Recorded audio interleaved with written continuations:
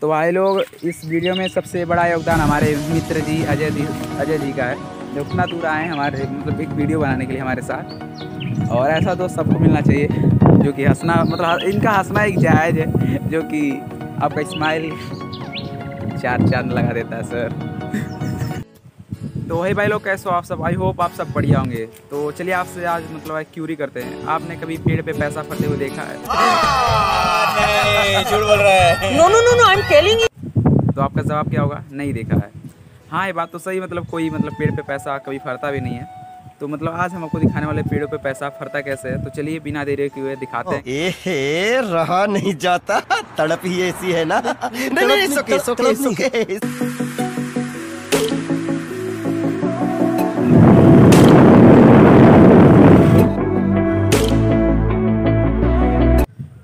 भाई लोग, अभी आप देख सकते हो, हम आ चुके हैं जिस जगह की हम बात कर रहे थे। यहाँ पे मतलब एक क्वाइन कर सकते हो रुपीस कर सकते हो, यहाँ पे मतलब पेड़ पे उगता है। तो अभी हम आ चुके हैं उसी खेत में। तो चलिए अभी हम आपको दिखाते हैं, हम मतलब किस चीज़ की बात कर रहे हैं। और इसका मतलब पूरा अच्छे से डिफाइन करके आपको बताएँगे एक एक चीज़ हम क्यों ऐसा बोल रहे हैं। ये भी बताएँगे कि यहाँ पे मतलब कॉइन फरता है, पैसा फरता है, जो भी।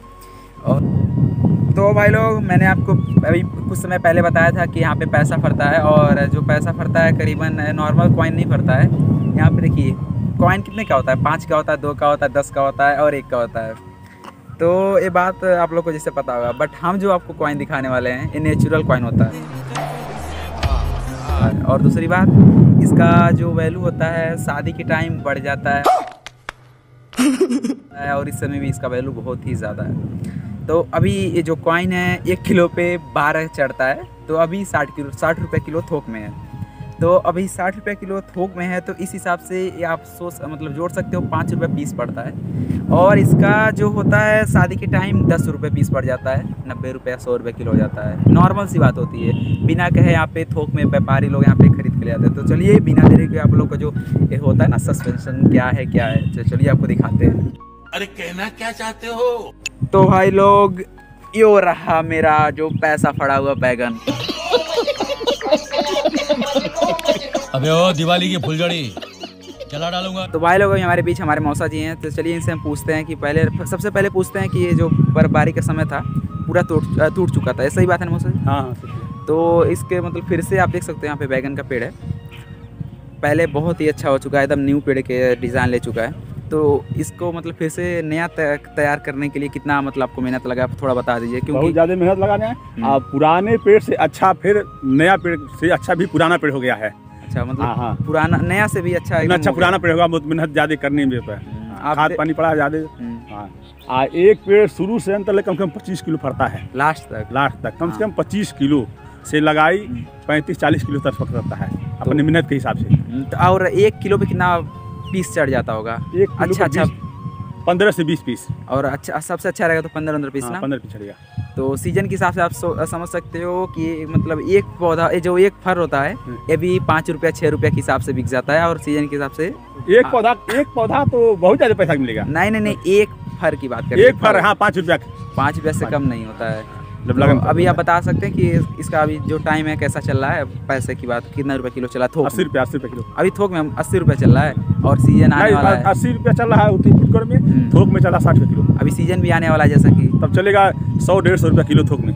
हाँ तो आप बिलीव नहीं कर सकते हो। आप मतलब कितना लोग कहते खेती में कुछ होता नहीं है ये वगैरह वगैरह। बहुत ज़्यादा खेती में होता है। हम्म, और शहर वाले क्या बोलते हैं हम खेती होती नहीं करेंगे वैसे हम पैसा वैसा कमा लेते हैं। अरे हम खेती पैसा कमाते खेती में शहर में रहना नहीं चाहते हैं। और दूसरी बात आप एक चीज़ और आपको बता दें कि क्या बोलते हैं कि कौन खेती करेगा? अगर खेती नहीं करेंगे तो आप लोग खाओगे क्या?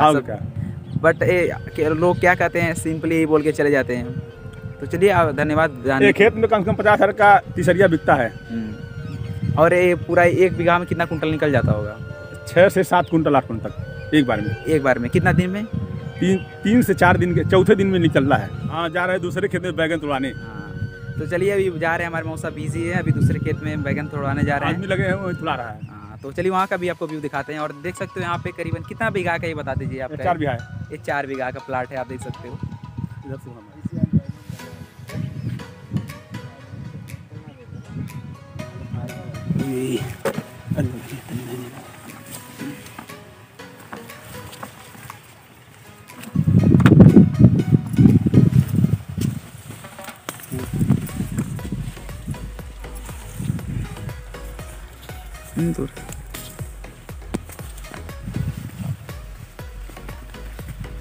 तो जैसा कि भाई लोग आपको बताया था कि हमारे मौसा जी जा रहे थे खेत में फिर इसी बैगन को तोड़ने। अभी देख सकते हो, ये दूसरा खेत है।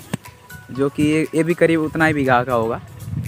अंदाज वो से बोल रहे हैं। ये भी उतना ही एरिया में है, करीब करीब। और अभी आप देख सकते हो, हमारे भैया भी जो जो हैं, संतोष भैया, ये भी तोड़ रहे हैं और सर अपना हटा रहे हैं। पता नहीं क्यों। हेलो हेलो एक बार देख लीजिए। सकते हैं अभी मौसा जी एक बार बता दीजिए। अभी जो पेड़ है, अभी इस मतलब ये जो, यहाँ इस खेत में जो पौधा है, एक एक बार तोड़ने में तोड़ने में कितना निकल रहा है? कितना किलो? एक किलो निकल जा रहा हाँ? एक किलो भी इस समय? हाँ।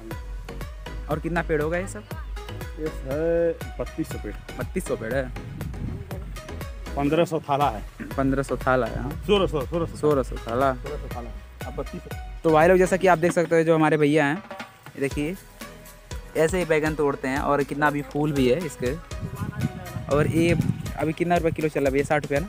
साठ रुपये चला है और अगर ये बारह पीस चढ़ता होगा नॉर्मली मतलब बता रहे हैं, और ज़्यादा चढ़ता होगा, इससे मतलब नहीं है। तो पाँच रुपये पीस पड़ेगा और उससे ज़्यादा चढ़ेगा तो तीन चार रुपये पीस पड़ता है। और सीज़न के टाइम पे ज़्यादा और मतलब इसका कॉस्ट बढ़ जाता है। तो यही रहा आज का मेरा ब्लॉग तो भाई लोग आई होप ये वीडियो आपको अच्छा लगा होगा और आप, इसलिए हम बोल रहे थे कि मतलब आजकल पैसा बढ़ता है।